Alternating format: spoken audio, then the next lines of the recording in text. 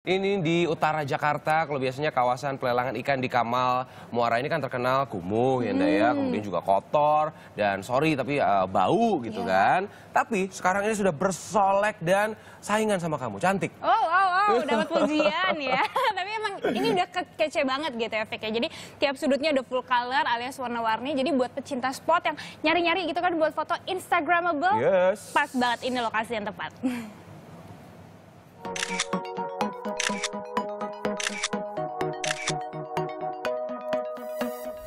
serba warna-warni.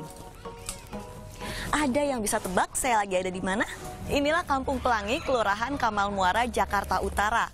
Kalau biasanya kampung nelayan itu identik sama kotor, kumuh. Tapi kampung ini dicat warna-warni supaya bisa menarik perhatian wisatawan.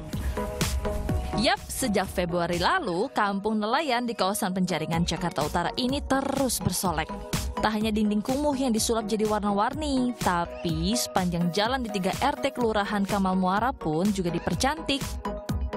Nah, kampung pelangi ini digagas oleh warga setempat. Ini lantaran mereka bosan dengan stigma tinggal di kampung kumuh pesisir utara Jakarta. Tapi dengan gotong royong, perlahan nuansa kumuh pun hilang. kampung kita jadi lebih bisa dilihat orang ya. Tadinya kan nggak dikenal di mana sih itu Kamal, nggak ada yang tahu.